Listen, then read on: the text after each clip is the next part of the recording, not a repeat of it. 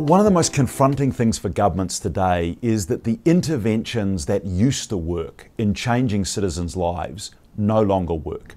Citizens have become much more path dependent in terms of what they start with in life, economically, socially, education, what is now driving where they end up in life. And the interventions we've been making haven't been making the difference that we need them to make.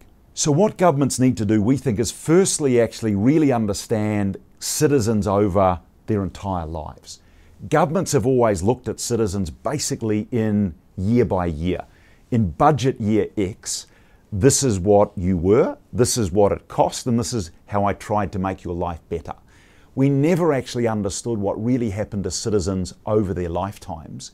And what we've found out is that things that happen early in citizens' lives matter enormously in terms of where they end up.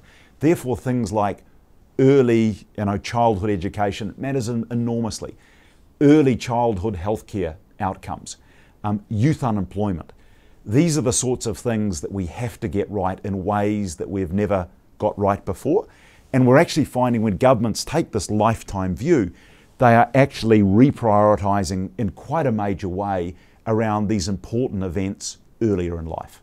Governments now have the tools to actually say, how do I make your life better now what are the interventions that actually work, and they have the data also to take their scarce resources and place them not in broad brush ways, not in the nice to have, but in ways that actually will change lives in the way that we're seeing the history has not worked anywhere near as well as it could have.